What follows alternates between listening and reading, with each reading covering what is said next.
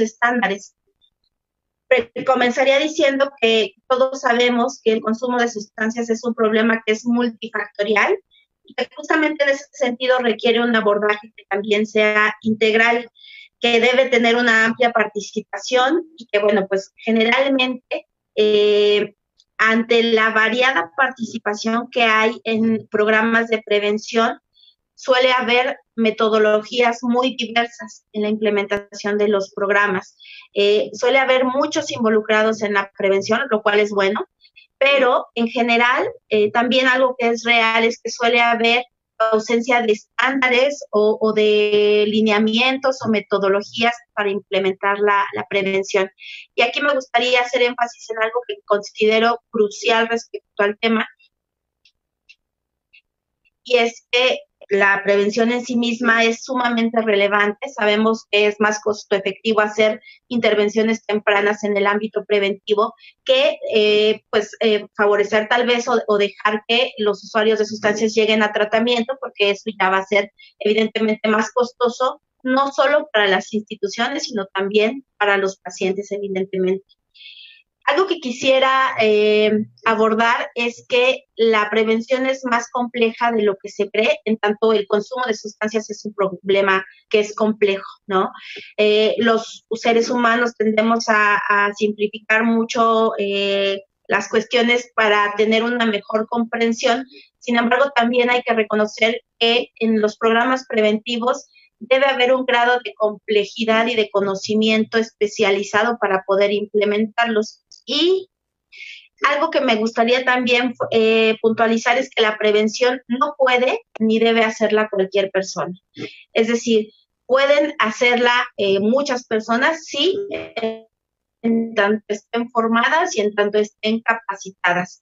A veces eh, solemos cometer el error de pensar que la prevención es lo más sencillo de hacer en el ámbito de, de las adicciones o solemos pensar que, por ejemplo, si alguien está en formación, puede empezar haciendo actividades preventivas para después pasar al tratamiento. Y me gustaría utilizar que eh, las acciones preventivas son tan relevantes como lo puede ser un tratamiento. Son distintos ámbitos, obviamente pero estamos hablando de, programas que deben de tener cierta complejidad y que deben de tener un carácter muy especializado si queremos que tengan un efecto, ¿no?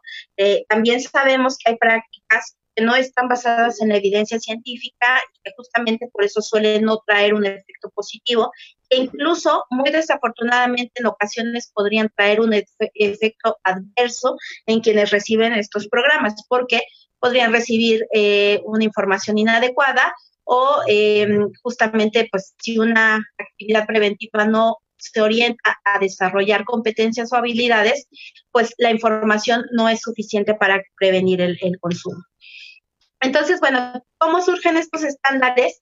Surgieron en el marco de la actualización que, hemos venido realizando a la norma oficial 028, porque se pensaron como una adenda o como un elemento que podría sumar a comprender mejor todos aquellos requisitos que debe cumplir una actividad preventiva. Sin embargo, este trabajo, eh, por la complejidad, fue tomando una dimensión diferente y el propósito general de homologar eh, los criterios, pues en realidad se rebasó porque se hizo un trabajo muy sólido de búsqueda de evidencia científica que fuera sólida, pero además se buscó la incorporación de distintos actores que fueran expertos en la prevención, que pudieran aportar sus conocimientos y que fueran, eh, se fueran elaborando aquellas prácticas que son más exitosas desde la evidencia empírica o el consenso de expertos y desde la evidencia científica o lo que sabemos a través de la literatura y las investigaciones. Me gustaría también precisar que eh, hemos tenido un trabajo relacionado con la calidad en las intervenciones, donde eh, el organismo internacional COPOLAT nos ha hecho reflexionar respecto a varios temas y uno de ellos es eh, algo que todos debemos de, tener introyectado, ¿no? Y que es que la calidad en una intervención no es un lujo, es una necesidad básica y una intervención preventiva o una intervención en materia de, de tratamiento debe tener la misma calidad siempre. Entonces, estos eh, elementos sumaron para ir eh, desarrollando estos estándares que, bueno, como objetivo primordial tuvieron que estuvieran basados en la mejor evidencia científica disponible, que tuvieran criterios muy básicos de lo que debería de cumplirse, tanto en la estructura de un programa como aquellas intervenciones que eran necesarias de realizar en un programa preventivo, evidentemente siempre considerando que tuvieran la perspectiva de género, un enfoque que fuera intercultural, que respetaran en toda, en toda medida el respeto, que respetaran los derechos humanos y además que, bueno, obviamente cumplieran eh, con los estándares que establece la norma que hoy día es vigente. Sin embargo, hay una serie de ingredientes que se fueron sumando en, en esta en esta estructura de los estándares y es que sabemos que la prevención es tan amplia que tenemos distintos contextos de intervención, que además tenemos tres niveles que son los más conocidos en la prevención, el universal, el selectivo y el indicado, y además tenemos distintos grupos de riesgo. Cuando pensamos que un, eh, programa debe ser sensible al ciclo de vida, estamos considerando que desde el embarazo debe hacerse alguna intervención hasta la vejez. El día lunes tuvimos una presentación súper rica con la doctora Evalinda Marrón que habló del consumo de drogas en adultos mayores y sí, todavía en, la edad adulta, por supuesto, se puede hacer prevención para que nuestros adultos mayores no desarrollen dependencia a algún tipo de sustancia. Entonces, eh, estos estándares partieron, por supuesto, de los estándares internacionales para la prevención del uso de drogas de la Oficina Nacional de las Naciones Unidas contra la Droga y el Delito, que establece cuáles son las mejores intervenciones de acuerdo a la evidencia científica. Aquí tenemos un resumen de cuáles son y tienen cierta gradación de acuerdo al nivel de eficacia que tienen, de si es eh, limitada, adecuada, buena, muy buena o es excelente. Y por ejemplo, tenemos que eh, los programas que incluyen el desarrollo de habilidades personales y sociales tienen un excelente nivel de evidencia científica. Y por el otro lado, por ejemplo, tenemos que eh, si, no sé, por ejemplo, ah, hay, una, hay visitas eh, prenatales e infantiles o se dan habilidades básicas de crianza, pues podría tener una gradación adecuada pero, eh, por ejemplo, aquí se refiere a las campañas, tienen una evidencia eh, limitada. Sin embargo, eh, son las intervenciones que más se suelen elegir por las instituciones, los organismos, ¿no? las campañas, y claro, tienen una evidencia limitada que nunca va a ser sustituida, por ejemplo, por dar una intervención que desarrolla habilidades sociales, ¿no? o habilidades personales. Esto es necesario saberlo porque justamente a partir de ahí se fueron construyendo los eh, estándares pensando en cuáles eran las mejores eh, intervenciones. También se utilizaron otro tipo de, guías, otro tipo de, de, gradación, por ejemplo, las guías NICE, que tienen un nivel de, gradación de acuerdo a la evidencia o la solidez de sus, de sus hallazgos nos van dando una noción de cuáles son las mejores intervenciones que han logrado eh, demostrar que tienen evidencia o que tienen respaldo a través de ensayos clínicos, de revisiones sistemáticas o bien eh, de metaanálisis. Todo esto habla de un gran constructo que se ha eh, hecho a, lo largo de los años a través de la investigación y justamente esos elementos fueron los que se fueron recogiendo y son lo que ustedes están viendo acá, ¿no? Si tienen un buen nivel de gradación, se incluyeron cuando no había una buena gradación de una intervención, es decir, su grado de efectividad no era suficiente, eh, también se especificaba para que quien implementa un programa sepa tal vez ese componente puede serle útil en alguna medida, pero que no puede ser el componente central si esperamos tener resultados positivos en nuestras intervenciones. Y bueno, esto es un poco más acerca de, cómo se va agradando. ¿Cuál fue la metodología para implementar estos protocolos? Primero se hizo un protocolo de búsqueda en bases de datos especializadas. Eh, la doctora eh, Tere Oviedo, que fue una gran líder en este trabajo, eh, construyó un protocolo de búsqueda sistematizado porque ya tenemos en el área el antecedente de que hemos participado en la elaboración de guías de práctica clínica. Es un ejercicio muy común cuando se hacen las guías de práctica clínica, contar con un protocolo estandarizado de búsqueda para siempre buscar la mejor evidencia científica. Después se identificaron estándares internacionales, se estuvo revisando justamente esta evidencia para constituir una propuesta que se pudiera llevar con el consenso de, los expertos, con el grupo de expertos, y se hiciera la validación. Entonces, esto fue un poco de la sistematización que se hizo y ustedes deben saber que el documento que ya está disponible en la página de CONADIC eh, desde hace eh, un par de días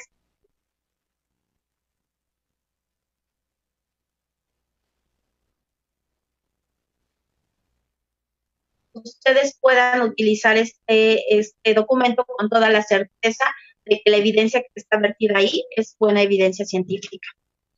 En el consenso de expertos participaron muchas instituciones, eh, por mencionar eh, solo algunas que tuvieron mayor permanencia en el grupo de expertos, está el Instituto Nacional de Psiquiatría, por supuesto los centros de integración juvenil, el ISTE, el IMSS, la SEP, la Secretaría del Trabajo y Previsión Social, el DIF Nacional, la UNAM, el Politécnico, CENCIA y también, eh, y mujeres, por supuesto, eh, ECA de México, que es una organización de la, de la sociedad civil. En total participaron 14 instituciones y una organización de la sociedad civil, que es experta en el ámbito de la prevención. Como resultado, tuvimos eh, entonces estos estándares que tienen una estructura eh, muy general y muy común a muchos documentos, pero básicamente creo que la parte más importante es la que se aboca a establecer el diseño de los programas, el diseño de las intervenciones y sobre todo el diseño o la definición de los componentes, ¿no? Y estas, eh, este documento pues propone cuáles son aquellas intervenciones más efectivas de acuerdo al grupo de edad de acuerdo al contexto, cuál debe ser su duración y quién puede implementar este tipo de, programas. En general, siempre se hace la acotación de que quien puede hacer este programa es aquella persona que esté eh, capacitada o que haya sido entrenada en estos componentes.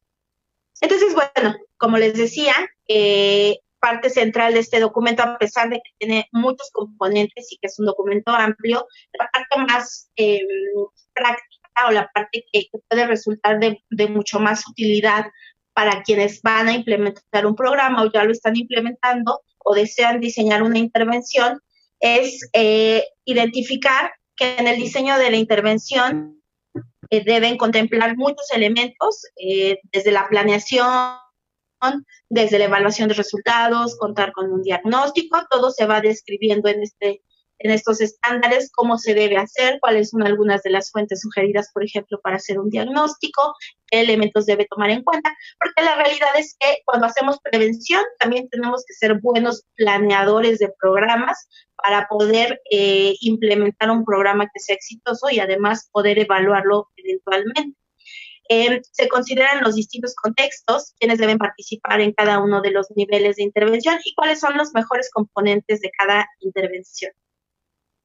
En este sentido, tenemos una serie de combinaciones que dan un amplio rango de intervenciones en las que se combinan los contextos familiar, escolar, laboral, comunitario, los servicios de salud, los lugares de entretenimiento y las redes sociales e Internet. Eh, muy orgullosamente les digo que es un documento eh, de, de, los primeros en este tipo en nuestro país, que contempla los lugares de entretenimiento, que contempla también las redes sociales y el Internet como ámbitos en los que se puede hacer prevención. Además, contempla siete etapas del desarrollo, que son la prenatal y la infancia, la niñez temprana, la niñez, eh, la adolescencia temprana, la adolescencia y la juventud y adultez. Y se establecen distintas intervenciones muy específicas para cada eh, rango de edad. Eh, ustedes seguramente, quienes nos acompañan, los colegas de, de las entidades federativas, saben que no es lo mismo hacer una intervención con niños pequeñitos de 5 años que a lo mejor hacerla con adolescentes. Es un contexto completamente distinto y entonces las herramientas que tenemos que usar también son diferentes. Y tenemos los tres niveles de prevención, que son el universal, el selectivo e indicado. Tanto si queremos trabajar en uno o en otro, vamos a tener una serie de intervenciones que van a ser útiles respecto a cada uno de estos niveles. Y esto es la, eh, digamos, una, una rejilla de cómo se encuentra que hay intervenciones más efectivas o menos efectivas para eh, ciertos grupos de edad. Entonces, por ejemplo, tenemos nada más a, manera de referencia, en la etapa prenatal es recomendado en el ámbito familiar proporcionar habilidades básicas de crianza y afrontamiento a mujeres embarazadas y sus parejas, o que, por ejemplo, en la adultez, con más de 25 años, una herramienta eh, de evaluación, de intervención más de tipo indicado, podría ser referir a tratamiento especializado si es que se detecta que hay algún consumo de sustancia.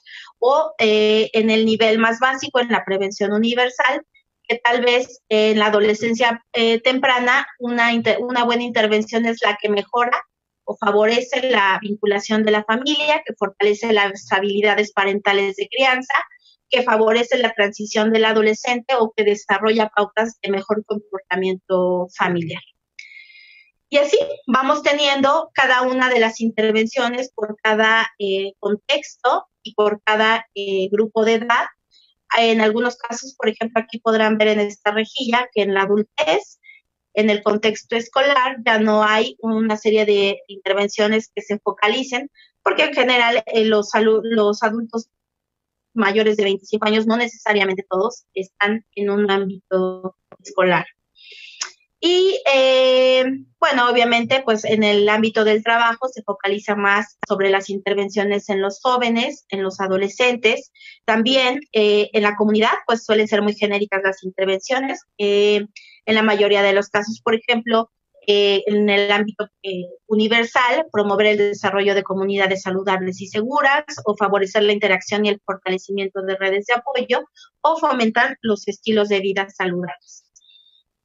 También tenemos otro tipo de intervenciones en el ámbito de, salud. No quiero detenerme mucho en ello porque es algo que se explica con muchísimo detalle en cada una de, las intervenciones que se eh, van refiriendo para cada etapa, para cada contexto. Pero bueno, esto es la referencia y la multiplicidad de intervenciones, que aquí es donde nos vamos dando cuenta de que la prevención es tan rica y es tan variada y puede tener tantas intervenciones que eh, a veces resulta paradójico que el, ámbito de la prevención lo utilizamos más para dar información y no hacer estas intervenciones tan concretas que, sí existen, ¿no?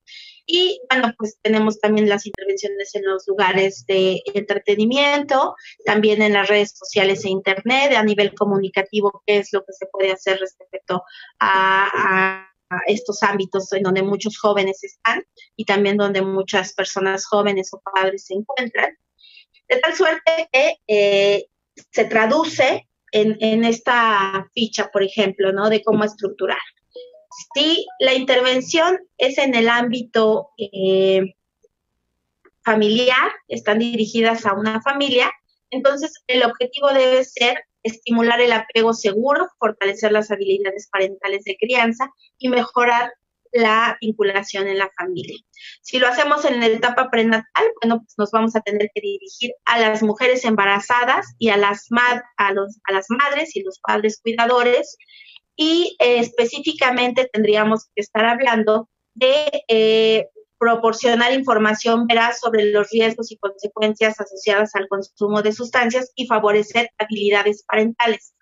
Aquí se da una sugerencia de los contenidos, cuál es la duración, siempre va a haber una referencia de la duración eh, sugerida, que en general en este caso es mínimo seis sesiones de 50 minutos, y los profesionales de la salud que pueden darlo son eh, personas que, que sepan obviamente del ámbito de salud, que se dediquen a la asistencia social o que sean promotores capacitados. Lo mismo en el ámbito eh, del contexto eh, del contexto escolar, es lo mismo que ustedes van a encontrar en estos estándares, que es lo que se puede trabajar, el mínimo, quién lo debe de implementar, y así en cada uno de los niveles. El documento lo hemos em, adaptado para que tenga una sencilla lectura que no sea compleja, porque queremos que sea un documento que llegue a, todas las personas posibles, así que también los invitamos a consultarlo y que también nos ayuden a difundirlo, porque pues es un elemento que va a ser bastante útil para poder implementar mejores intervenciones y muchísimo más fundamentadas en evidencia científica. De toda esta mezcla que yo, yo les compartí de, componentes, niveles y eh, contextos, tenemos 106 componentes 92 de ellos que están basados en la evidencia científica a través de la búsqueda sistemática de, investigaciones, de estudios, y 14 eh, intervenciones con evidencia empírica. Estas intervenciones resultaron eh, o fueron el resultado del trabajo del consenso de los expertos. En este documento nosotros precisamos cuando estamos describiendo una, eh, intervención con evidencia empírica para que también quien la realiza sepa que es una intervención que se validó a través del, eh, del consenso de expertos y no necesariamente a través de eh, la búsqueda de evidencia científica. Y bueno, además se describen detalladamente los, los componentes basados en la evidencia científica y la empírica, es decir, en qué consisten y cómo se hacen. Y además, bueno, pues el documento como un apoyo tiene un glosario muy amplio de términos y eh, pues de conceptos para que sean útiles. Finalmente, eh, algunas consideraciones relacionadas con este, este, estos estándares es que, pues, evidentemente, los programas que son multicomponentes suelen ser los más eficaces.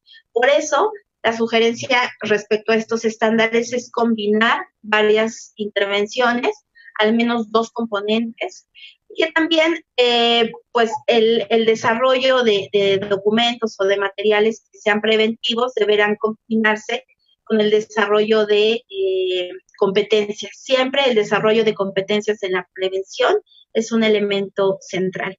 Y además, siempre debe haber un seguimiento de las intervenciones que eh, se realizan y debe haber una etapa de reforzamiento y debe haber también una evaluación del, impacto que pudo haber tenido o de los resultados de la intervención. Y justamente para, para cerrar, quiero decirles que a la par que se iba haciendo este trabajo, fue cuando empezamos a implementar eh, los talleres psicoeducativos.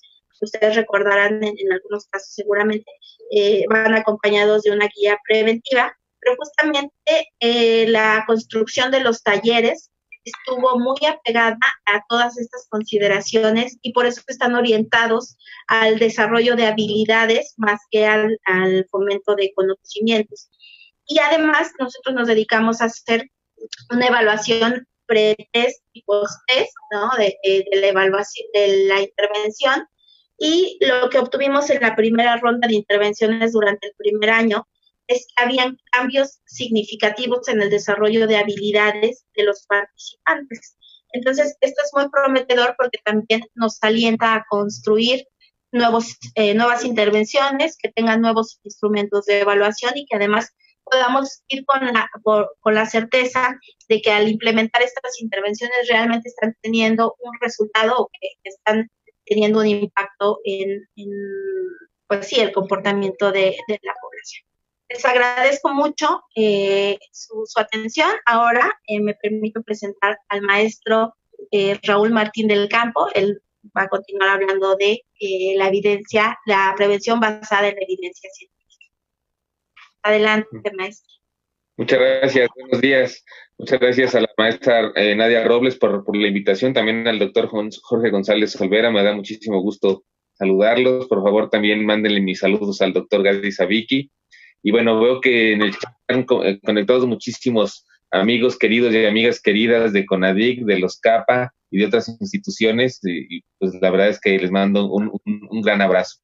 Esperemos que estos 15 minutos que siguen este, no tengamos este, sismos ni réplicas ni nada, ¿verdad? Eh, y bueno, también a mis compañeros de CICAD y de OPS, me, da mucho gusto compartir con, ustedes la, mesa, la mesa de hoy. Eh, voy, a, voy a compartirles eh, algo que, preparé precisamente para hacer un comentario sobre, sobre estos estándares.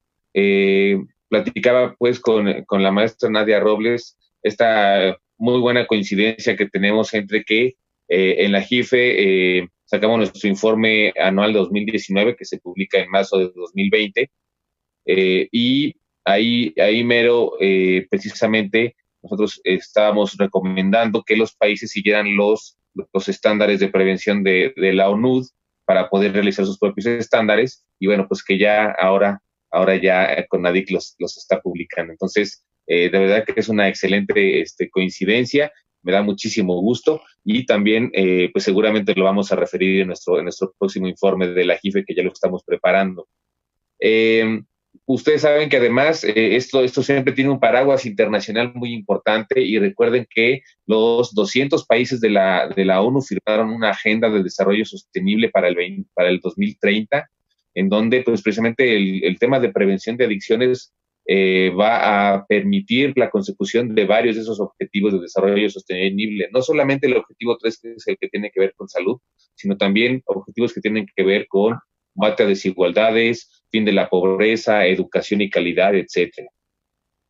Eh, ustedes saben, bueno, pues el, eh, el, diagnóstico internacional que tenemos que en menos de 48 horas ya tenemos, ya tendremos la actualización en el, en el informe mundial de drogas.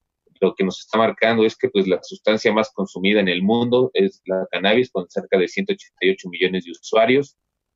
Antes, históricamente, la cocaína era la segunda sustancia más consumida, ahora ya ha sido desbancada por los opioides, tanto los opioides eh, médicos tomados fuera de prescripción, como oxicodona u otros opioides de este tipo, como eh, heroína y, otros, otros opioides.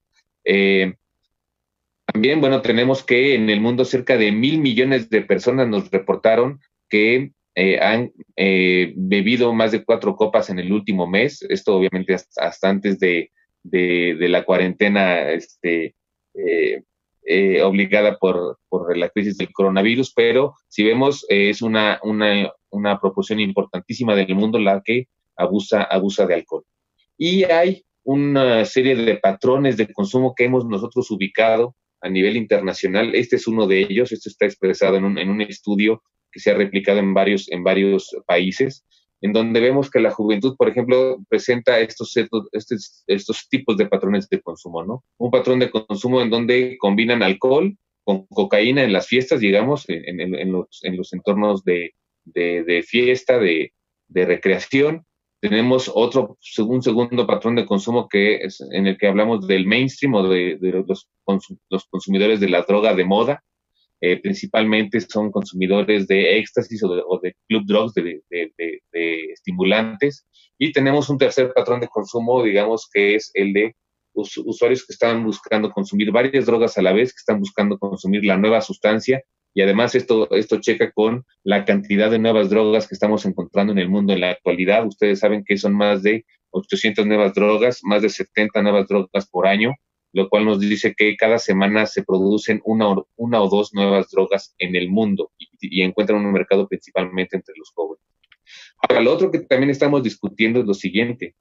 La misma droga puede utilizarse en una presentación cara y más o menos pura para, para los usuarios que tienen eh, poder económico o, poder de compra y, en forma inyectada o inhalada barata para usuarios que no tengan estas posibilidades. Entonces, por ejemplo, tenemos el caso del cristal, que se puede vender como una metanfetamina en un antro cara o se puede vender para fumar o inyectarse a personas eh, en situación de calle, jóvenes, etcétera, a, niveles muy, muy baratos.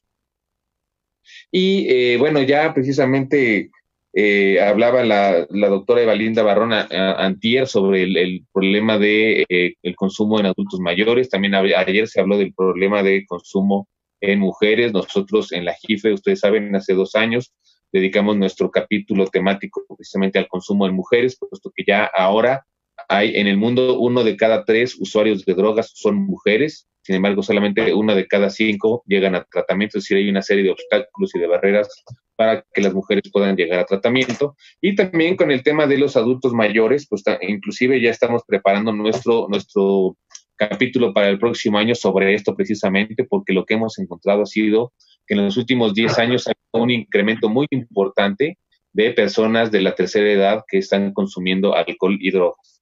Por ejemplo, en Estados Unidos hace 13 o 14 años había estimados 800 mil eh, consumidores de drogas ilegales al año. Estos 800 mil consumidores ahora son 11 millones de consumidores de drogas eh, ilegales en la tercera edad. Eh, ustedes lo pueden ver en la, en la gráfica. Alemania en 10 años ha incrementado 11 veces su consumo de drogas. Chile ha incrementado 30 veces el consumo de drogas en adultos mayores.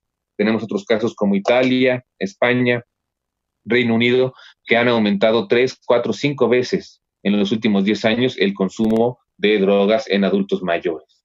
Entonces, eh, nos dimos a la tarea de hacer, de, preparar este, este documento con la doctora Silis Loboda, que fue la anterior directora de prevención en el National Institute of Drug Abuse, en el NAIDA, y con la eh, maestra Giovanna Campelo, que es la directora de prevención de la Oficina de Naciones Unidas contra la Droga y el Delito, precisamente por la importancia que reviste que podamos nosotros recomendarle a los países eh, la práctica de la prevención basada en evidencias. ¿Por qué?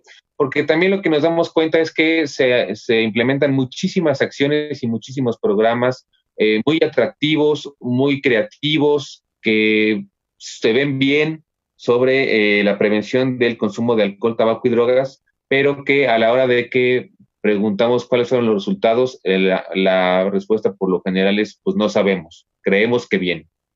a veces se nos dan resultados que tienen que ver con cómo se operacionalizó la, el, programa, cómo se operó, lo cual no, no es poco importante, este, y dicen, bueno, pues sí llevamos a cabo las sesiones, este, hubo una, una, una, encuesta de satisfacción de los usuarios y nos fue bien, pero no sabemos realmente cuál fue el, el resto del impacto. Y digo que también es importante eh, hacer esta evaluación de proceso porque también se ha, visto que cuando las intervenciones preventivas no se aplican con la fidelidad con la que fueron diseñadas, también pueden tener malos resultados. Inclusive el programa que más se ha evaluado a nivel internacional, que es el de BOTBIN de habilidad para la vida, cuando se, eh, cuando se aplica con un, eh, una mala fidelidad, inclusive genera también resultados negativos, como ya lo comentaba la maestra, la maestra Nadia.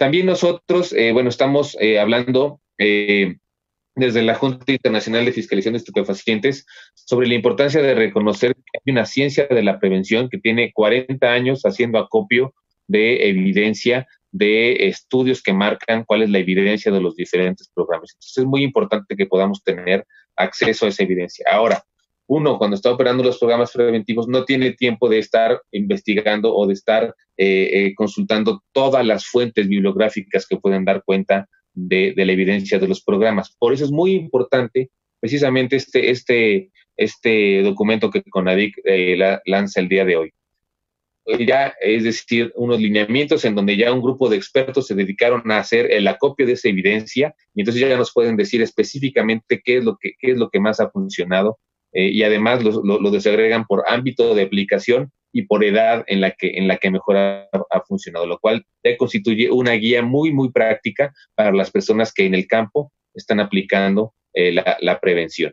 Algo que también creo que nos ayuda mucho y lo hemos destacado nosotros en la GIF es que además, afortunadamente, ya reconceptualizamos el tema de la etiología del consumo por un tema que tiene que ver con la vulnerabilidad del consumo, factores de riesgo, factores de protección, que además nos ayudan a contextualizar esto dentro de programas de salud pública, en donde podamos nosotros tener intervenciones que son universales para toda, toda la población, selectivas para aquellos que tienen ciertos riesgos de, de factores de riesgo e indicadas para eh, aquellos usuarios que están iniciando el, consumo.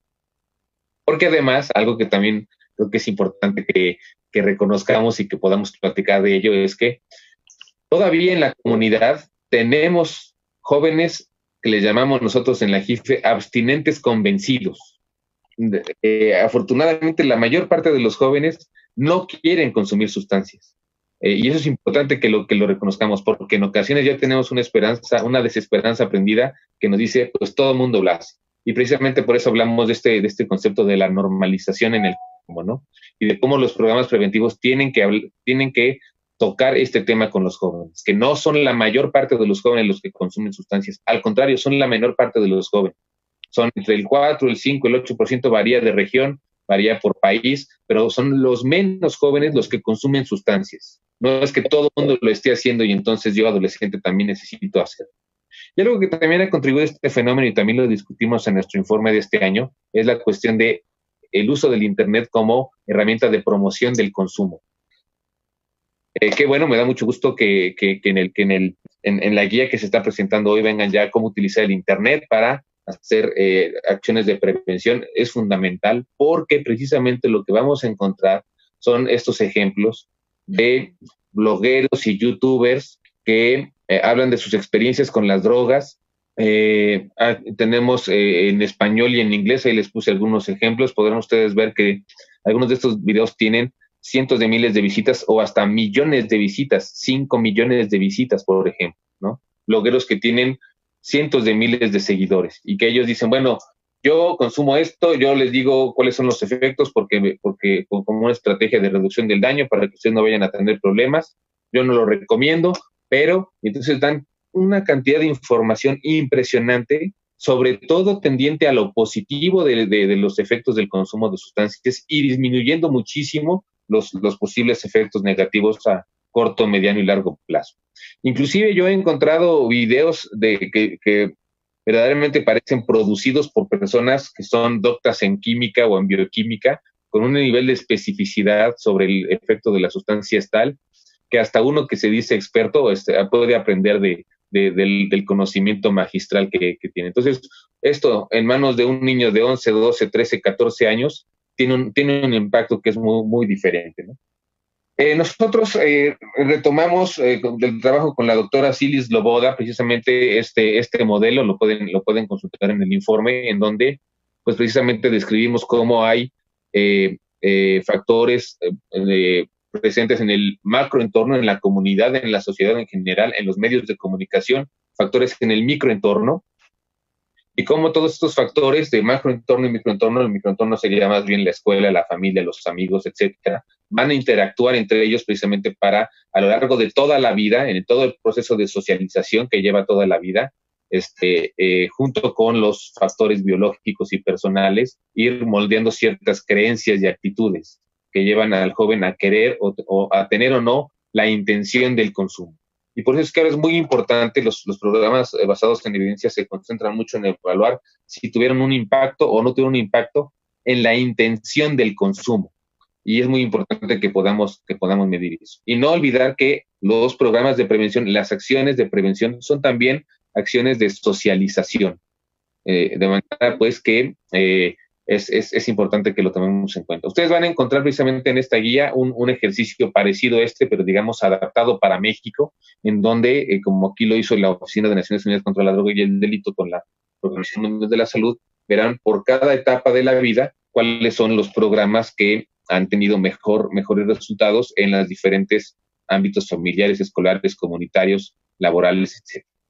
Y ya por último, precisamente, eh, es muy importante que eh, veamos cuál es la infraestructura también que se, que se requiere. Ustedes que están en los consejos estatales contra las adicciones, en los CAPA, entonces es muy importante ver la manera que se le dé una prioridad al sistema eh, de, salud eh, respecto a el tema de prevención de adicciones, los actores clave como son las escuelas, la sociedad civil, los sistemas de salud, que pueda gestionarse un financiamiento a largo plazo de estos programas preventivos que no vayan a ser de una vez, eh, los sistemas que regulan también nos ayudan, las COFEPRIS, las, las COFEPRIS en cada estado, son fundamentales para que podamos nosotros regular los programas preventivos, que podría ser el siguiente paso que hiciéramos en México respecto a la regulación de la labor preventiva.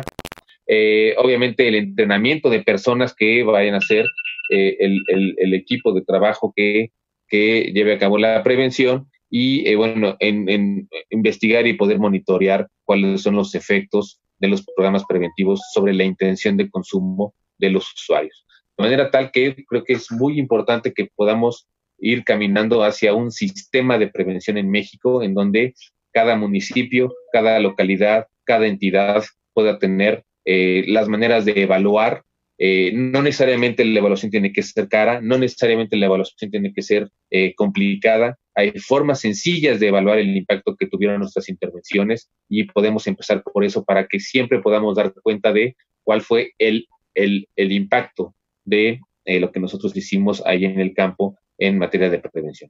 Muchísimas gracias por su atención y creo que vamos a seguir discutiendo sobre esto.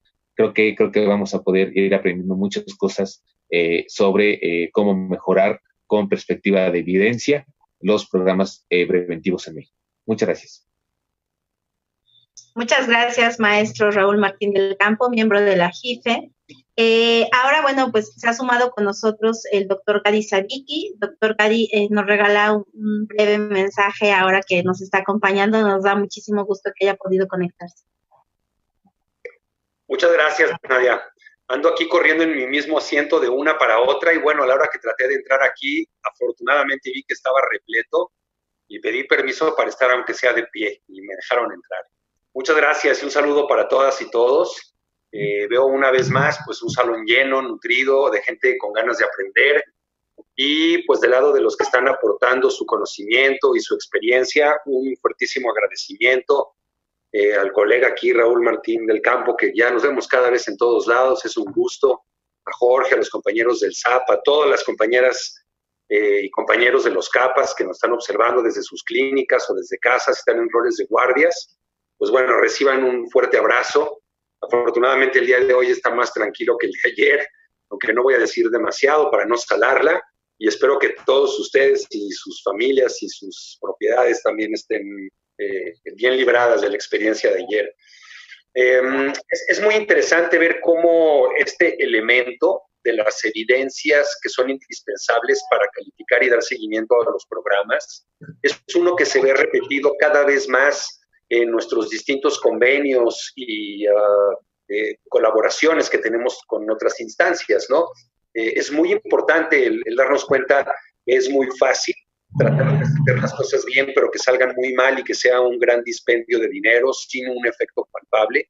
Entonces sí, es crucial el poderle dar seguimiento y el poder basarnos en evidencia, lo que yo creo que conviene a los que estamos desde la arena eh, científica, porque estamos bastante seguros que si nos basamos en las evidencias, muchas de las visiones humanistas, preventivas, con una visión social de factores de riesgo y, prevención, son las que van a salir a flote como las mejores estrategias, ¿no? Entonces contamos con ello y por eso el rendir evidencia siempre es algo que nos interesa.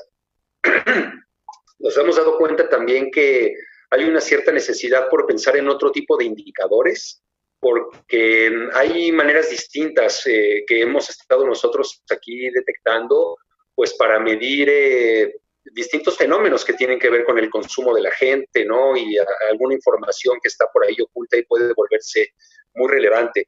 Entonces sí creo que esta es una parte que interesa y que vamos a seguir reforzando. Eh, hablar de la prevención siempre es muy complejo porque al no tener una forma universal, absoluta, comprobada, contundente de prevenir, surge una situación de multiplicidad de ideas y de posturas en donde probablemente todas tengan la razón. Entonces se vuelve difícil el, generar estos programas preventivos, aunque cada vez vamos estando más claros de qué son las cosas que sí previenen. Y bueno, comentaba con algunos de los compañeros presentes aquí de cómo cuando uno observa la pandemia y lo que ha sucedido en nuestro país y en el mundo, que bueno, de algo debe de servir todo este tiempo de observación y de contemplación que hemos eh, tenido estos últimos meses. Yo comentaba que tenemos que abordar el problema de la pandemia de consumo de sustancias de manera muy similar a lo que está pasando con el COVID, porque si lo reflexionamos, todos vamos a ser expuestos, tanto a las drogas como al COVID. Algunos vamos a desarrollar un problema casi insignificante, tanto para las drogas como para el COVID. Algunos tendremos una enfermedad significativa en las drogas y en el COVID. Y algunos tendrán una enfermedad muy seria que requiera de contención y de participación del Estado y de asociaciones civiles. Entonces, cuando hablamos de la prevención, tenemos que estar muy conscientes de esto. Nosotros no prevenimos igual el día de hoy a la población de los niños que van al kinder que a los adultos mayores que viven en eh, casas hogar para ancianos. Eh, en ese sentido, tenemos que aprender a hacer una eh, prevención diferenciada, atinada. Si uno trata de hacer una prevención demasiado recargada hacia el mantenimiento de la abstinencia, pues las personas que ya consumen y otro tipo de ideologías se vuelven resistentes. Si nos vamos hacia una eh, un tipo de tratamiento de prevención que nada más vaya hacia la reducción del daño, pues esto deja sin solventarse los problemas de los adolescentes y de los niños que no son del todo propicios para medidas de reducción del daño sino nos se sigue teniendo que mantener una cierta abstinencia. En fin, creo que hemos aprendido mucho de estos meses, ¿no? De cómo funcionamos también como estructura, el hecho de que ahorita haya esta participación, pues de toda la tropa de la CONADIC, ¿no? Que está una vez más dando la cara a la ciudadanía y que se estén capacitando en estos estándares, a mí me parece formidable y esta es una de las cosas en las que hemos desarrollado mucho expertise. Yo quiero una vez más, ¿no? Este, no, no puedo dejar la palabra sin agradecer a la maestra Nadia Robles, que está muy eh, al pendiente de, esta, eh, de este tipo de eventos, a Alejandra Rubio, que es la internacionalista, también una de nuestras directoras que participa, probablemente Aristides, Aristides Bautista no ande por aquí y esté en alguna grabación, pero es increíble la capacidad que se ha desarrollado dentro de la CONADIR con Aristides y su equipo, con Charlie y con Karina, pues para desarrollar una cantidad increíble de conversatorios y materiales que nosotros hemos visto cómo ustedes los han acogido, los han difundido, los han transformado, los han intervenido y uh, espero que a partir de estas experiencias salgamos todos más capacitados y, para no robar más tiempo de lo que es realmente importante y es seguir adelante con el curso, yo devuelvo el, piso y agradezco a todos eh, su asistencia, a los organizadores por organizar eh, em, y bueno, a todos los demás compañeros que están en la parte docente. Yo los abrazo y les agradezco mucho del gran esfuerzo que estamos haciendo entre todos eh, para ser más profesionales y brindar un servicio y, una atención preventiva de más excelencia en el país. Gracias a todos. Muchas gracias, doctor Gary. Eh, por supuesto, es muy importante tener unas palabras de usted y por, sobre todo gracias por el apoyo que nos ha dado para poder hacer este trabajo que ya se ha venido haciendo en el área eh, pues una realidad que podamos mostrar a los colegas de las entidades y a cualquier persona que nos esté viendo el día de hoy por, por el Facebook Live, porque estamos transmitiendo también allá. Y muchas gracias, Ari, justamente por eso, porque nos estás apoyando para poder llegar a más personas. Ahora quisiera cederle la palabra a eh, la maestra Jimena Kalapsky. Ella es jefa de la sección de reducción de la demanda de drogas de la Comisión Interamericana para el Control y del abuso de drogas, CICADO-EA, porque han sido un gran aliado en el tema de los programas de reducción de la demanda y sin duda alguna la prevención es un elemento fundamental en este tipo de programas. Adelante, Jimena. Muchas gracias, Nadia. Bueno, saludar a Jorge González, al doctor Sadiki, eh, a Raúl Martín del Campo, que me pareció excelente su presentación. Ya sabremos más el día 26 eh, con el lanzamiento de los datos eh, de Naciones Unidas. Creo que la recopilación que, han hecho ha sido fantástica. Eh, tuve la oportunidad de, revisar esta nueva política, estrategia de, prevención de México. Creo que han hecho un excelente trabajo. Hay mucho trabajo detrás de esto, se nota. quiero felicitarlos y contarles que desde la unidad de reducción de la demanda de la CICAD, estamos trabajando con la Universidad de Miami justamente en una revisión sistemática de los programas de prevención que tenemos en la región, eh, porque nos interesa saber qué programas se están implementando, qué nivel de evidencia tienen y buscar aquellos programas que tienen una mayor aplicabilidad para nuestros países. Hay varios programas que tienen eh, adaptación y, datos preliminares, pero que han sido construidos, elaborados en Europa, acá en Estados Unidos, y por eso nos interesa saber con qué programas contamos en la región, de manera de poder hacer un buen eh, uso de ellos y tal vez darle más difusión y más apoyo en la medida que responden a, nuestras necesidades locales. Em, bueno, quiero felicitarlos nuevamente, decirles que ayer estuvimos muy preocupados por este tema del terremoto. Yo estoy viviendo acá en Washington, pero vengo de Chile, entonces sé lo que es vivir en un, en un país sísmico. Y justamente lo que siempre nos preguntábamos en estos días es como si además de los efectos de la pandemia nos iba a tocar un, terremoto, porque sabemos cómo afecta eh, eso eh, a los países. Eh, cuando estamos hablando de prevención, justamente nuestros países tienen además la vulnerabilidad de los desastres naturales eh, que ponen en juego o tensionan la salud mental de todos los habitantes. Yo puedo solamente empatizar en estos momentos y decir que eh, sé lo que significa eh, el vivir con 120 réplicas en un día, el estado de alerta em, emocional que eso implica, y entonces justamente cómo nosotros enseñamos a, los niños, a los jóvenes, a los adultos a lidiar con las emociones, tiene que ver mucho con el trabajo preventivo. Y estoy de acuerdo con el doctor Sadiki en términos de que también la pandemia nos está enseñando mucho del trabajo preventivo que debemos hacer y es así como vemos eh, la necesidad de la protección individual como también del trabajo colectivo, porque cuando nos cuidamos de manera individual también nos cuidamos todos. Y si no nos cuidamos todos, eh, no sirve que solamente nos cuidemos eh, de manera individual y personal. Y en esta mm, nueva eh, estrategia de, de, prevención he podido ver con muchísima alegría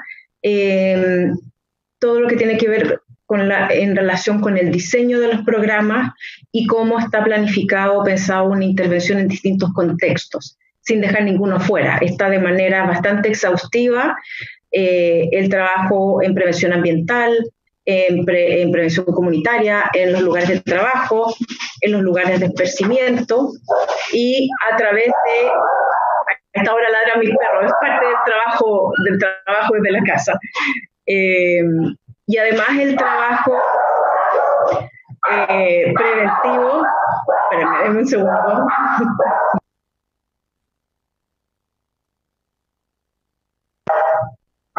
Algo hice a ver si logré callarlos un poco, pero bueno, es la hora que pasa el cartero.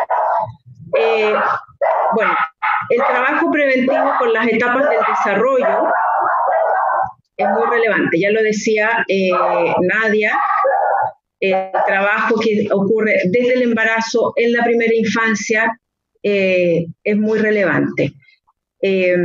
porque ahí es cuando estamos formando hábitos, estamos eh, estructurando la personalidad, el desarrollo de los recursos protectores para la salud mental, eh, hábitos que también son muy preventivos.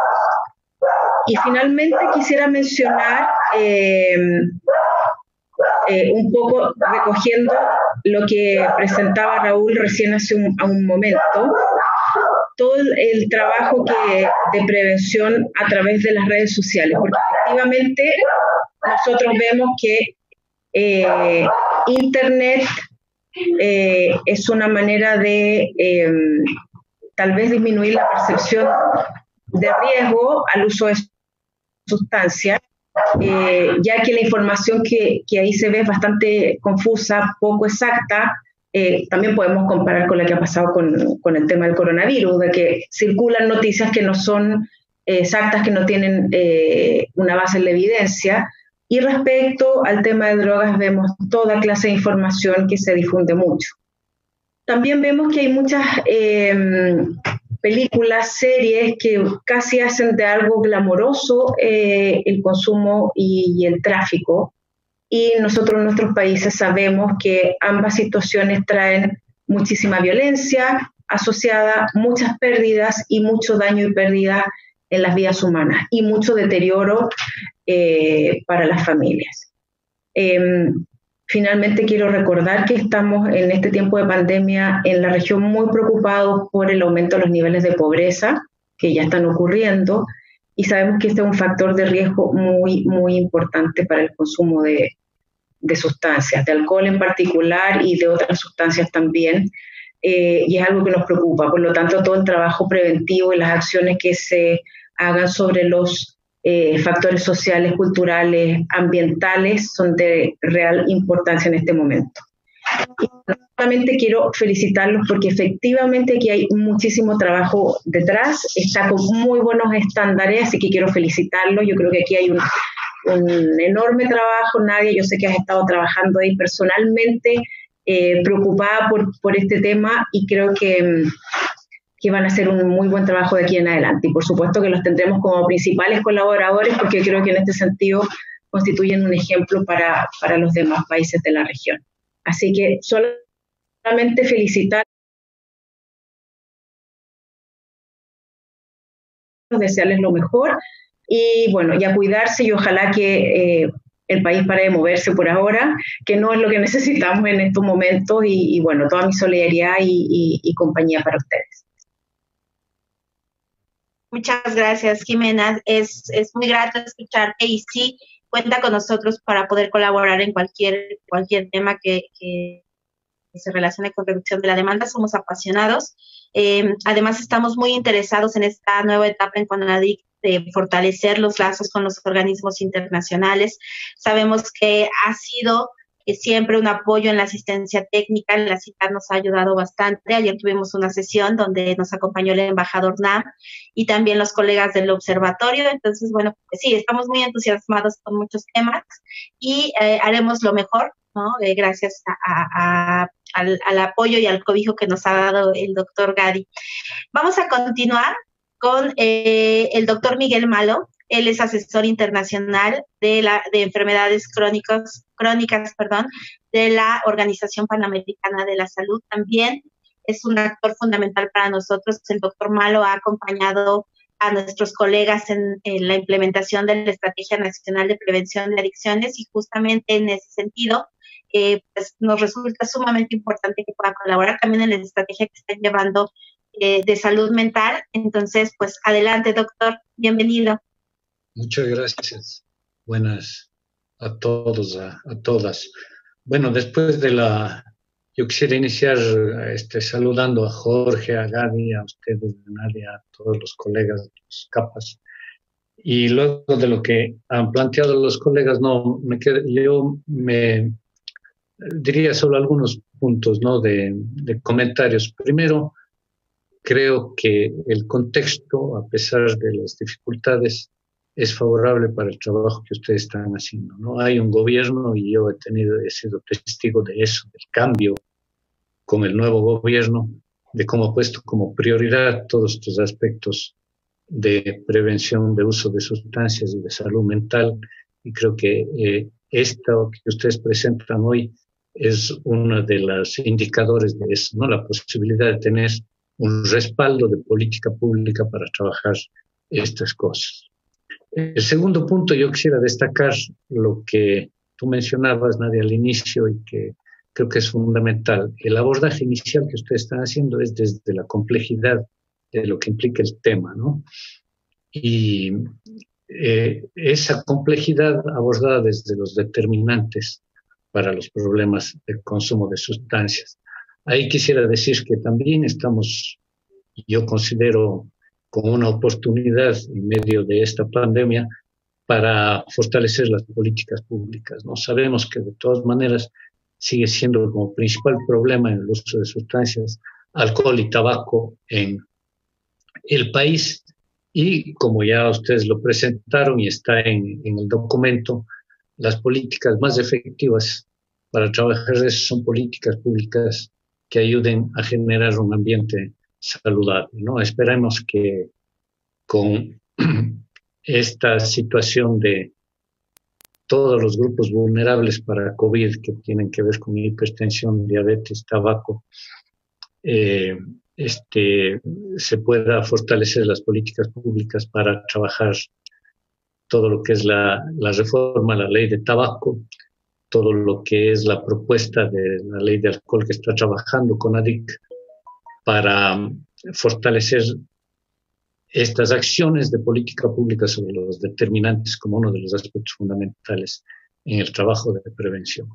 Eh, es lamentable ver cómo, eh, lamentablemente, en este caso, industrias de tabaco, de alcohol, de comida chatarra están aprovechándose del contexto de pandemia para ampliar su mercado eh, poniendo como siempre el énfasis en el lucro, en la ampliación del mercado y no en la salud de la población. Creo que hay un punto fundamental de trabajo y ahí yo apelo a todos los colegas, no solamente desde la perspectiva de política como lo está haciendo el CONADIC, pero también como ciudadanos y ciudadanas para fortalecer esta, estas propuestas del gobierno de políticas públicas. ¿no? Está en, ustedes conocen, por ejemplo, que está en agenda la reforma de la Ley General de Tabaco y está en agenda una propuesta de aumento de, de, una ley para aumento de impuestos de estos productos no saludables como elementos fundamentales. El tercer punto que quería colocar muy rápidamente es eh, que yo creo que ustedes van a conseguir con esto y con todo el esfuerzo que he sido un testigo eh, privilegiado ahí de todo el trabajo que, han hecho desde esta perspectiva de, salud mental, de CONADIC, para eh, trabajar muy correctamente con estos múltiples actores que tienen que ver con este problema complejo.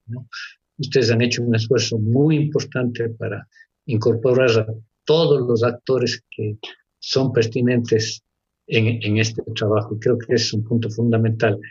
Y este, este documento va a ser un documento que apoye a fortalecer lo que necesitamos principalmente en esto. a nivel regional hemos tenido experiencias lamentables de la dispersión, la diversidad, la poca efectividad que hay en todas las intervenciones que se han hecho para el manejo, el problema del manejo de sustancias y no, y no ha sido con una rectoría clara desde las secretarías de salud, desde los ministerios de salud. Creo que este documento es un paso fundamental en ese sentido. Este Gaby, Jorge, es, es un aporte fundamental a la sociedad y a las políticas públicas para decir desde las secretarías de salud, si ustedes me permiten de manera coloquial, ya tenemos suficientes evidencias como para estar descubriendo el agua tibia, ¿no? Y ustedes han hecho el esfuerzo, como ya han dicho los colegas, para colocar todas las, evidencias existentes hasta ahora, para decir, miren, este es un trazado de cancha que tenemos que seguir para trabajar en la prevención del uso de sustancias. Y ese es un aspecto fundamental de aporte de este documento. Por último, decir, nos quedan unos desafíos enormes. ¿no?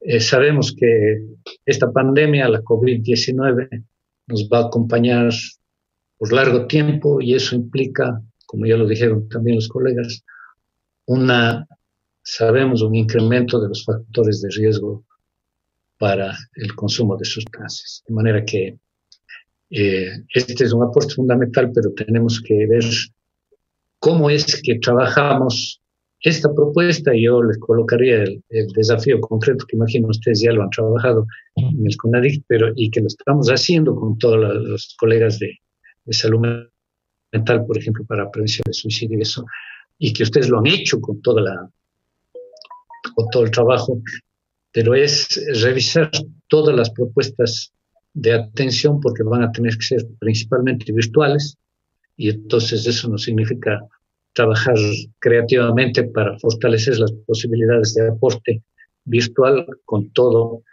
este proceso. Creo que el otro desafío en ese sentido es ver cómo se fortalece y también yo he sido testigo, les digo, de todo el esfuerzo que ustedes han hecho para la articulación de redes, ¿no? Pero tenemos que fortalecer esa, esa, necesidad de, de, trabajo en red para poder garantizar los mejores niveles de atención a los distintos problemas y procurar que sea en la mayor parte virtual y si se requiere ya una cuestión presencial pero el trabajo en red, ¿no? El, el, otro punto que yo veo ahí como desafío, ya lo mencionaba Gadi, pero creo que es uno de los puntos que habrá que, fortalecer desde el desarrollo de competencias y la posibilidad de acompañar al recurso humano para fortalecer permanentemente esta, esa competencia de trabajo. ¿no? Y por último, yo colocaría algo que ya mencionó también Raúl, eh, y que creo que sería el paso siguiente a este, a este documento, que es la necesidad de trabajar los procesos de evaluación ¿no? y, generar indicadores rápidos, accesibles, fáciles, como lo decía el mismo Raúl, no, no, es, no, no, pensemos que, puede, que es una cosa difícil la evaluación, pero sí tenemos que trabajar en procesos que nos permitan la evaluación, los distintos niveles de atención con los distintos actores, y creo que es uno de los puntos que queda en, en el desafío. Yo quisiera finalizar nuevamente felicitando el trabajo que ustedes han hecho. Eh, creo que es un paso fundamental y de, eh, este, decirles pues, que estamos ahí con ustedes en el, en, el camino y que tanto desde la Oficina de México como nuestra oficina regional, con la que ustedes han estado en contacto, con el colega Luis y, los demás colegas, eh, seguiremos acompañando y apoyando en lo que ustedes consideren pertinente este proceso en el país. Muchas gracias. Muchísimas gracias, doctor Malo, y vamos a tomarle la palabra. Queremos, eh, pues sin duda alguna, hacernos acompañar de, de usted, de ustedes de la oficina aquí en México. Eh, sabemos que tenemos grandes retos en materia de drogas ilícitas y justamente este es un primer paso. Eh, como bien lo dice, eh, sabemos qué hacer, pero es importante justamente en este saber qué hacer, también acompañar a quienes están implementando nuevos programas. Y bueno, dicho sea de paso, estos programas, este, este documento no está eh, dirigido únicamente a la prevención de, del consumo de drogas ilícitas, es, está hecho para cualquier tipo de sustancia, realmente en este caso de la prevención no, no hace falta dividir o segmentar por, por tipo de sustancias. Ahora eh, me gustaría darle la palabra a la doctora Evalinda Barrón. Ella, como ustedes eh, muy probablemente sepan, además de ser psiquiatra, eh, y ser colega de acá de CONADIC.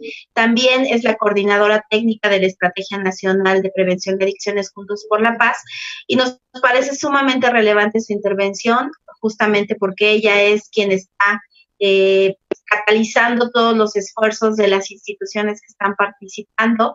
Eh, ella ha sido una gran organizadora en, este sentido de la, de la estrategia siempre apegados evidentemente a, la evidencia científica y justamente por eso nos resulta sumamente importante que desde la parte más práctica podamos tener una intervención de alguien que ya está trabajando en campo. Adelante, doctora. Hola, hola a todos. Muchísimas gracias por la invitación. Un saludo y un abrazo fuerte a, a todos. Y bueno, eh, quisiera platicar sobre lo que es la Estrategia Nacional de Prevención de Adicciones Juntos por la Paz, que justamente es la implementación de todas estas evidencias y todo el trabajo que ha hecho a lo largo de los años el equipo de, este, del doctor Gadisaviki, eh, Nadia, Jorge, y que es momento de llevarlo a la, a la práctica, ¿no? Aquí en la coordinación de salud mental hay un dicho, es que no queremos más carpetas, queremos ir a territorio y queremos hacer eh, las cosas en territorio. Y justamente eso es la Estrategia Nacional de Prevención de Adicciones, poder bajar lo que estamos haciendo. Y en un territorio tan grande, tan diverso, eh, donde cada municipio tiene un contexto sociocultural, político y un patrón de consumo distinto, pues esto representa grandes, grandes retos para todos. Eh, les voy a poner una presentación. no me deja.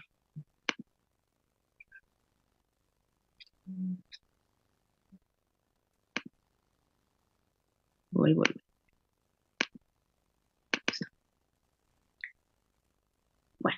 Y quería contarles un poco de la estrategia y por qué, todas las veces que nos han preguntado por qué es diferente esta parte de la articulación, pues bueno, ahí, ahí les va.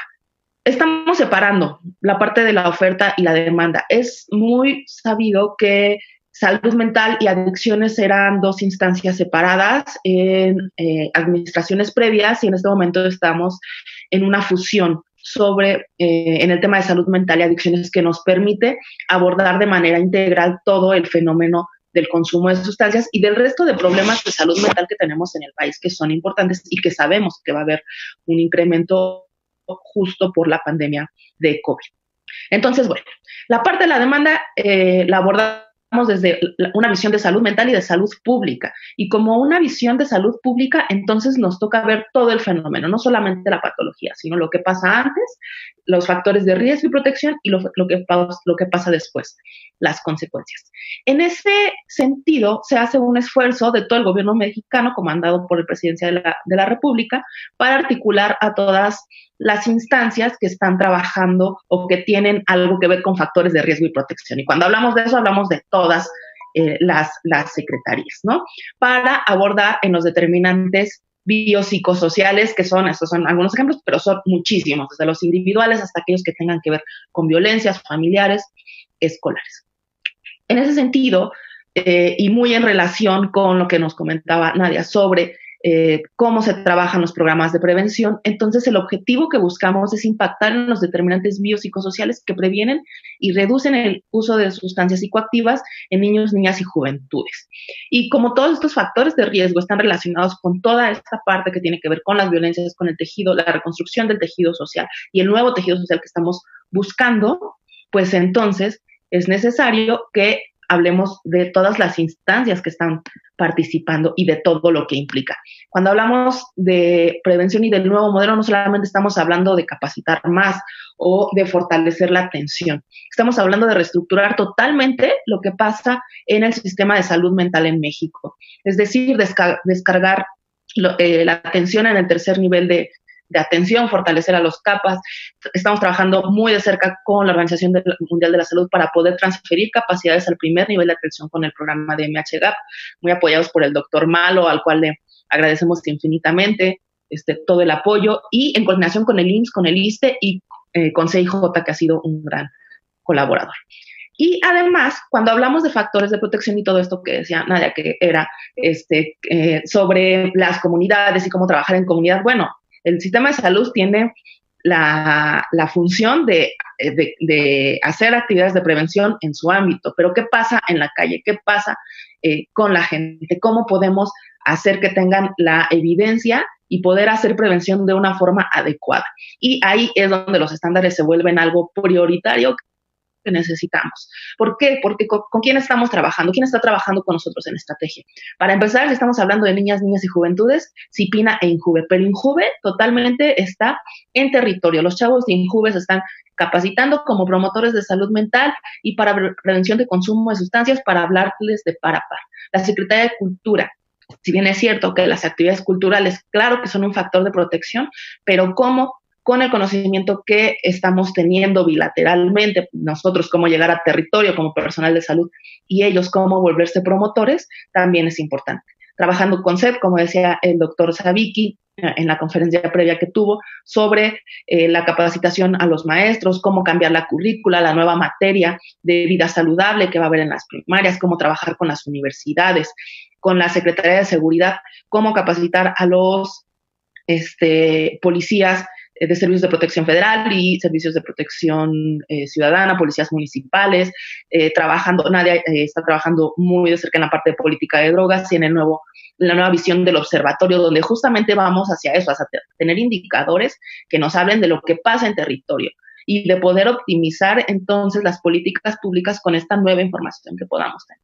Y bueno, eh, Bienestar, SEDATU, CONADE, CONAPO, todos estamos trabajando de una forma que no solamente son las acciones que cada uno de las instancias federales hacemos y que son un factor de protección. Estamos intercalados y estamos trabajando en que ellos puedan tener toda esta información para llevarla a territorio y podernos decir, y no solamente es llevarla a territorio, eh, eh, podemos, necesitamos saber qué está, qué está pasando en los estados. Entonces, esto mismo pasa en las coordinaciones estatales y en las coordinaciones municipales para poder tener diagnósticos apegados a la realidad y que en los estados y en los municipios, los capas que son eh, nuestra nuestro, nuestro ejército y quienes en realidad operan todo esto, nos puedan decir, bueno, es que en este municipio necesitamos tal y en este tal, ¿no? Los ejes de intervención en los que estamos eh, trabajando aquí, a lo mejor sí tenemos una parte de salud muy fuerte, pero necesitamos cosas de mejoramiento urbano, pero en el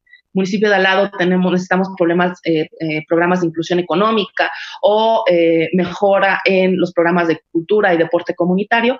Bueno, de eso se trata la estrategia, de que nuestros enlaces territoriales, de que la gente nos diga qué está pasando y que podamos hacer políticas eh, muy enfocadas a lo que se necesita en territorio. El año pasado eh, trabajamos eh, ya en casi todos los estados, gracias exactamente a los SECAS y a los, y a los CAPAS, con eh, las instancias que estábamos participando el año, el año pasado, ferias de salud, actividades en territorios y sobre todo llamado a, llamando a la integración comunitaria. Entonces, esto nos habla cuando pensamos en prevención, decía Nadia que pensamos mucho en la parte de capacitación, en la parte de salud. Lo estamos haciendo desde las instancias que de repente podríamos pensar que no tienen nada que ver. Los chavos de Injuve, los chavos de cultura, eh, los profesores están muy eh, apegados a, nosotros. Y una de las instancias con las que estamos trabajando muy de la mano, que también nos ha ayudado mucho, es justamente el doctor Malo y la OPS, para ayudarnos a envolver todo esto en donde tiene que ir, que es la parte de salud mental. Les voy a poner un videito chiquito. En México, 4 millones de personas sufren depresión y en promedio 18 se suicidan diariamente, siendo la mayoría jóvenes. El uso nocivo de alcohol es la tercera causa de riesgo de muerte prematura. 71% de los mexicanos lo ha consumido. 60.000 muertes al año se asocian al tabaco. Uno de cada 10 mexicanos ha consumido alguna droga y el consumo en adolescentes ha en aumento. La violencia es la principal causa de trastornos por estrés postraumático. Sin embargo, en países como el nuestro, 75% de la población no recibe la atención en salud mental que necesita. El estigma y las violaciones de los derechos humanos agravan el problema. Para acortar esta brecha, México se ha sumado al programa MHGAP, enfocado en salud mental, propuesto por la Organización Mundial de la Salud, para mejorar la atención a estos trastornos y aumentar la cobertura de las intervenciones base en evidencia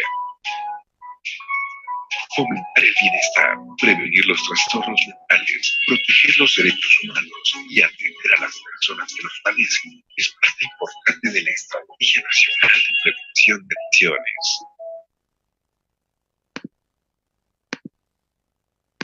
Y entonces, perdón. Entonces, pues eso es la estrategia, es bajar lo que ya tenemos en evidencia a territorio. Es un gran, gran reto para todos eh, pero pues ahí, ahí van. Este, la idea es que podamos tener toda la evidencia, más, mejores sistemas de información que nos permitan justamente ir mejorando este tipo de, esto, este tipo de políticas con una articulación que creo que nunca se había, nunca se había visto. Muchas gracias. Muchas gracias, doctora. Eh, sin duda muy valioso. Y bueno, justamente atendiendo eh, a, lo que nos decía el doctor Miguel Malo, eh, los siguientes pasos son importantes y para nosotros hay un gran compromiso en que los elementos que, se están trabajando no se queden solamente en documentos que ya de por sí son valiosos porque pues, respaldan las prácticas. Hay un elemento central que es cómo, cómo vamos a hacer ahora que ya tenemos estos estándares. Y justamente también desde el área hemos planeado una serie de evaluaciones que eh, proponemos se realicen para eh, los, programas, las intervenciones, las instituciones. Eh, algo que, mencionaba el maestro Raúl es totalmente cierto y hacia allá vamos, que tiene que ver con el regular los servicios preventivos. Nos hemos focalizado mucho en los servicios de tratamiento porque en general pues sí revisten mayor complejidad en todos los elementos que tienen que trabajarse sin duda alguna, reconocemos que la prevención es una gran empresa y entonces en ese sentido debe valorársele también desde el ámbito de la, regulación y la evaluación. Y bueno, pues el maestro Alfredo González, colaborador de eh, esta dirección de programas nacionales, les va a compartir justamente cuáles son nuestros siguientes pasos y nuestro plan para evaluar que estos estándares se están implementando. Adelante, Alfredo. Hola, buenas tardes. Buenas tardes a todas y a todos. Pues yo les compartiré eh, justo eh, lo que estaremos visualizando en las próximas, en las próximas eh, sesiones respecto a lo que vamos a implementar para ejecutar estos estándares nacionales para la prevención del consumo de sustancias psicoactivas lo planteaban ya eh, desde el principio que eh, requerimos de sustentarnos en evidencia científica eh, que nos permita facilitar la propuesta de la política pública. Y un poco el, tema de, mi intervención es aterrizar en cómo estas, este trabajo metodológico que les estamos planteando eh, nos permitirá eh, realizar estas propuestas de política pública, porque además con el impulso que, la, que el doctor Gary que el doctor Jorge y la mayoría desde la dirección le hemos, eh, se le ha dado a este, este trabajo preventivo, pues nos permitiría sustentar y manifestar este, esta intención. Eh, como ustedes escucharon, los objetivos de, los estándares, entre otras cuestiones, pues es definir criterios de, diseño, de implementación. El maestro Raúl eh, señalaba la necesidad de medir eh, la construcción de nuestras intervenciones preventivas y de la implementación justo en este eh, espacio de implementación, pues vamos a requerir de todo el apoyo de, nuestras compañeras y compañeros en los centros de atención primaria. Obviamente en, los consejos estatales contra las adicciones requeriremos de esa implementación, pero también haremos trabajo de medición y de seguimiento en los eh, siete contextos de intervención que plantea eh, estos estándares. Mm, la intención final de, este trabajo metodológico es llegar a elevar la calidad y eh, tener certeza de que estos resultados, estos efectos en la población son de carácter efectivo, que los servicios preventivos que estén brindando no solamente en los CAPAS, sino también en las instituciones privadas que en muchos lugares, en muchos estados contamos con estas instituciones que brindan estos servicios. Eh, se señalaban los dos tipos de componentes. Obviamente que eh, aquí la diferencia o el, eje central de esta cuestión de los eh, componentes basados en evidencia científica y en evidencia empírica se sustenta en la medicina basada en, evidencia. La idea es que contar con los protocolos, con las variables, con las mediciones en, el término de, en términos de evidencia científica que nos den sustento que lo que estamos ofreciendo a la población es realmente eh, un eh, trabajo que va a ser que va a tener un efecto positivo y constructivo y va a modificar algunas conductas o algunos comportamientos en nuestra población. Y los de evidencia empírica, pues son los, como lo señalaba la maestra Nadia, son aquellos que eh, ubicamos y que los diferentes expertos e instituciones que tienen eh, un cúmulo de experiencia en, esta, tarea eh, nos aportaron los conocimientos para implementarlos y dejarlos suscritos en estos estándares nacionales. La selección de, los componentes pues fueron multifactoriales. La intencionalidad es enfocarnos en los factores de riesgo potencializar los factores de protección, de protección y eh, eso nos permitiría elevar la efectividad de estos diferentes componentes. Sabemos que el trabajo multicomponentes tiene, eh, tiende a elevar eh, la eficacia y la efectividad de las intervenciones preventivas. Evidentemente, el, trabajo de habilidades socioemocionales es lo que nos va a permitir sustentar este trabajo. Eh, en términos de la selección de los componentes, eh, como ustedes vieron, eh, se identifica una matriz, yo la identifico como una matriz de 773 respecto a las siete etapas de la, de la vida, los siete contextos que, que se manejan y que se plantean en, las, en los estándares preventivos y los tres niveles de riesgo, universal, selectivo, indicado. Eh, se estarán desarrollando estrategias de reforzamiento a 6, 12, 18 y 24 meses. Un componente importante, lo señalaba el doctor Malo, el eh, la licenciada Jimena y obvio también el, el maestro Raúl Martín del Campo, es la idea nuestras multiplicadoras y multiplicadores de estos servicios preventivos estén eh, fortalecidos en su formación, eh, que tengan las habilidades y las competencias para aplicar todos estos componentes que ya se señalaron. Evidentemente el manejo de grupos es significativo y es sustancial para eh, cobrar esa fidelidad que señalaba Raúl respecto a cómo se implementan estas intervenciones preventivas. Y eh, otra de las cuestiones eh, importantes que se señalan en estos estándares preventivos son aquellos métodos interactivos aplicados a la enseñanza y que me he tenido la fortuna y la experiencia de compartir algunas experiencias en los estados muchas de nuestras compañeras y compañeros tienen una amplia experiencia en, la aplicación de estos métodos interactivos eh, aplicados en la enseñanza. Como nos mencionaba la maestra Nadia, son 92 componentes de, con evidencia científica, aquí señalo solamente algunos, 21 con evidencia científica, con las instituciones que ya mencionó. Eh, es importante señalar estos últimos tres, igualdad de género, proyecto de vida, sentido de vida, es importantes que señala estos estándares nacionales.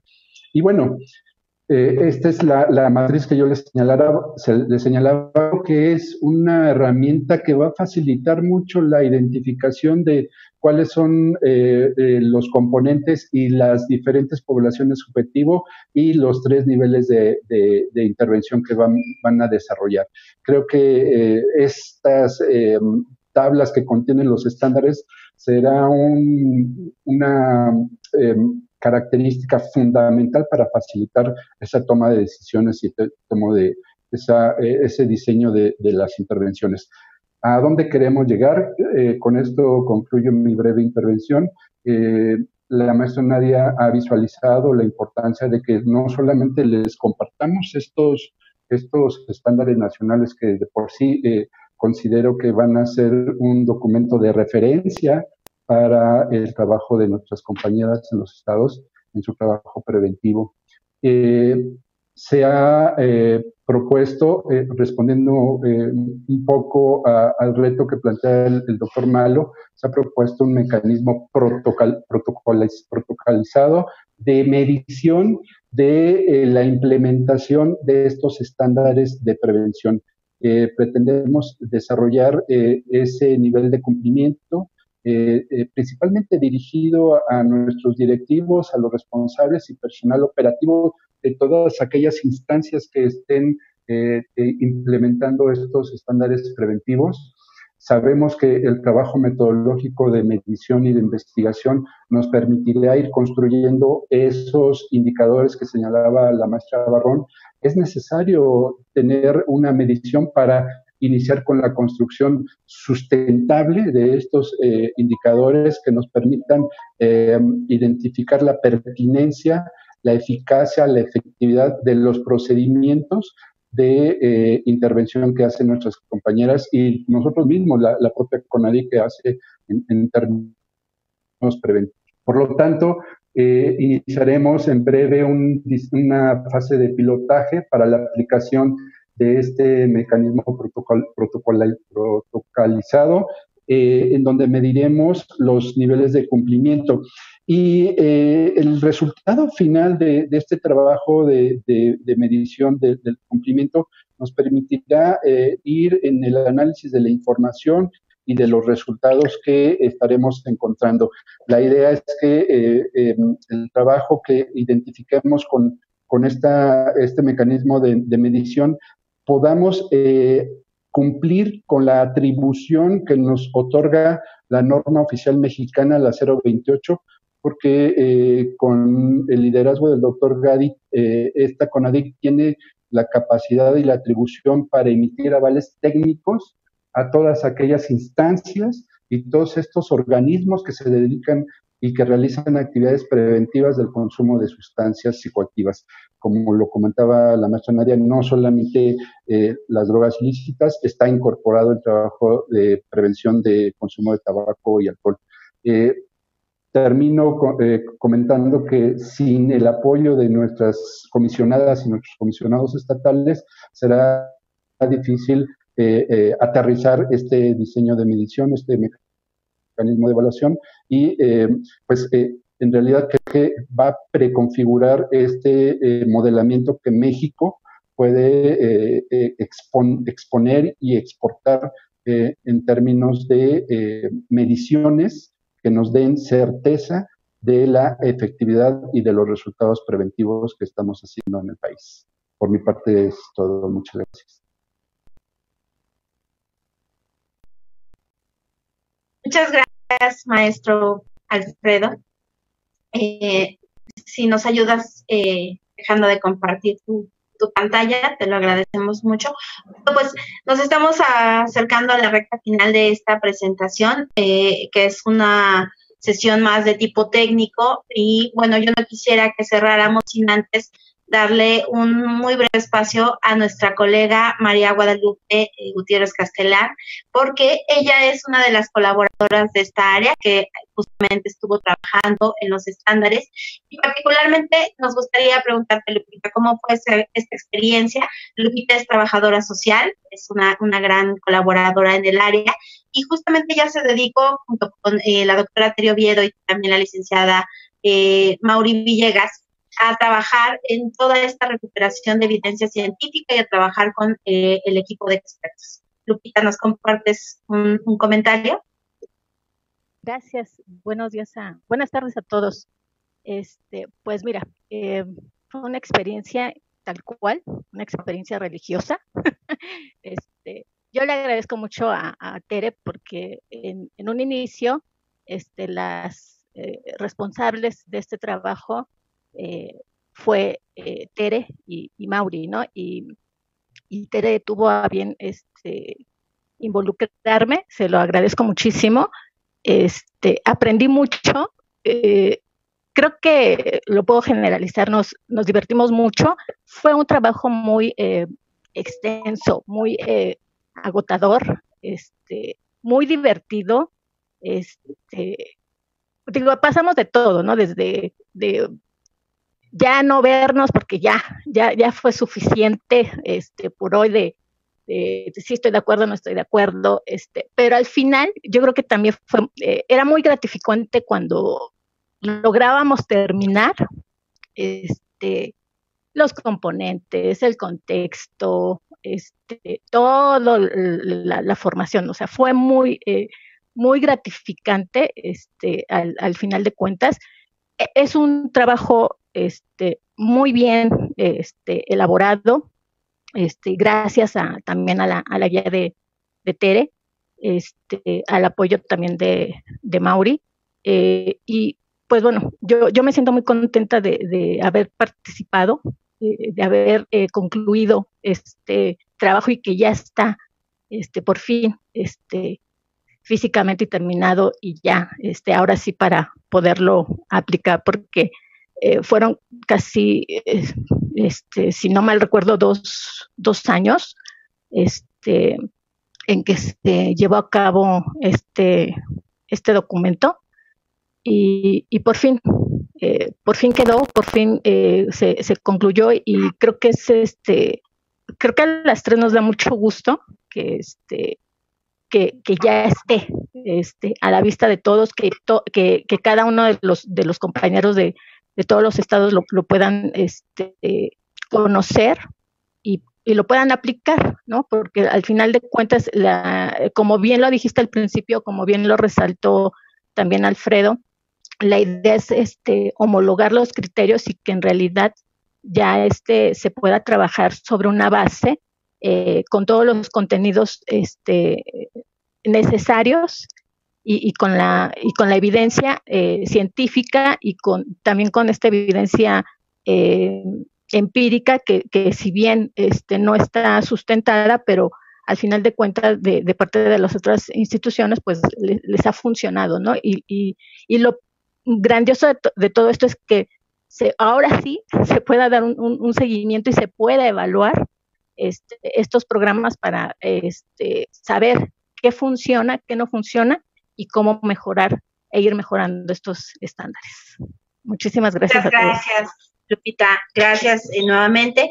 Yo eh, me parecía sumamente eh, importante tener la, intervención de, Lupita porque es la muestra de que el trabajo de equipo puede tener buenos frutos y además, pues es la muestra también de personal tan capacitado que tenemos en la Comisión Nacional contra las Adicciones, porque estos estándares no solamente tienen la visión de la evidencia, también tienen la visión del médico, del psicólogo, del trabajador social que se dedica al campo y bueno, pues eh, hemos, eh, con esto estaríamos concluyendo. Agradecemos eh, sus, buenos deseos, sus buenos comentarios. también quiero decirles que estos materiales están en la página de Conadic. Los invitamos a visitar nuestra página. Ya están montados ahí, los pueden descargar. Es una versión que está libre para que ustedes la descarguen. y bueno, también quisiera terminar no solamente agradeciendo a todos nuestros eh, colegas de los organismos internacionales, a Jimena, al doctor Malo, al doctor Gadi, al doctor Jorge, al maestro Raúl Martín del Campo, a todos el, quienes nos acompañaron el día de hoy. Y bueno, finalizo invitándolos el día de hoy a las 4 de la tarde. Tenemos una transmisión en vivo hablando eh, con mujeres especialistas en el ámbito de la prevención.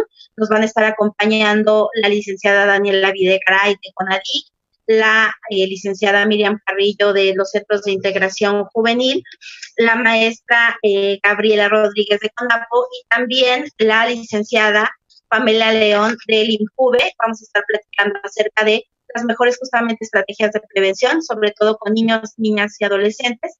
Y pues los invitamos al rato a conectarse en el Facebook de, de Conadic. Y pues nada más que desearles un excelente día, que, que estén bien y muchos saludos. Un buen día.